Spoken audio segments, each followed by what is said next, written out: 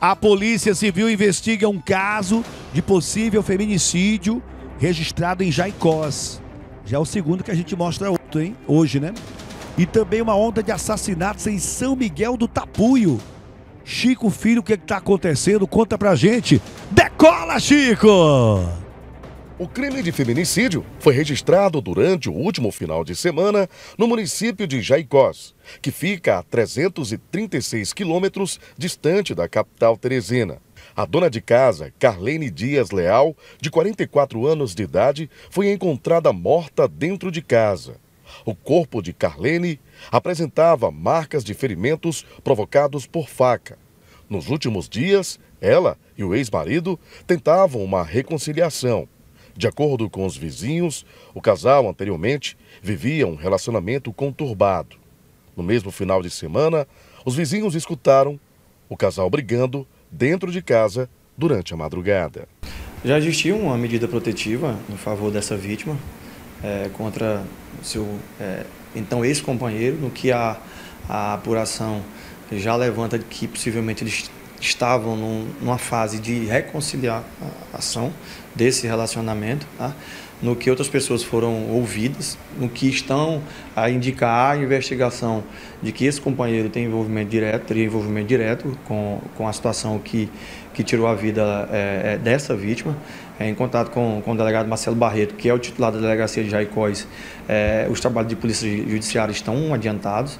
A corpo dela foi, passou por exame cadavérico, perícia criminal também foi acionada, atendeu o local. O ex-marido de Carlene é o principal suspeito de ter praticado o crime.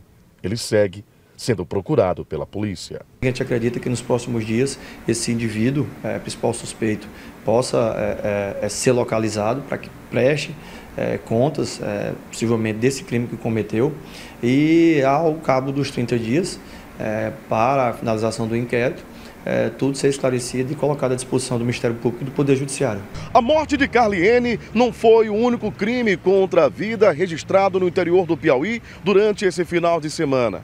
Já no município de São Miguel do Tapuio, Francisco Kleber, de 34 anos de idade, também foi assassinado. De acordo com a polícia, os suspeitos invadiram a casa de Kleber pela porta dos fundos. O crime aconteceu na madrugada do último domingo.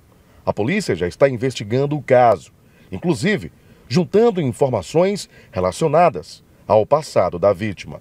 Na situação clara e típica de, de execução. Dois indivíduos, inclusive é, um deles claramente encapuzado, chega e desfere disparo de arma de fogo é, é, contra a, vita, a vítima, que veio a ser é, socorrida ao hospital, mas não resistiu e, e veio a óbito é, as, as, as, as, equipes de, de, perícia e de medicina legal foram acionadas, é, a equipe de investigação agora realiza atendimentos, é, tenta encontrar é, uma linha de investigação para esclarecer e é, identificar esses indivíduos que cometeram esse crime lá em São Miguel do Tapuio.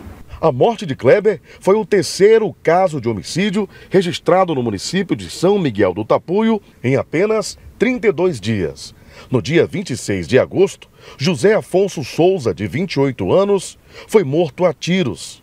Já no dia 23 de setembro, Antônio Iraelto foi encontrado morto dentro de casa.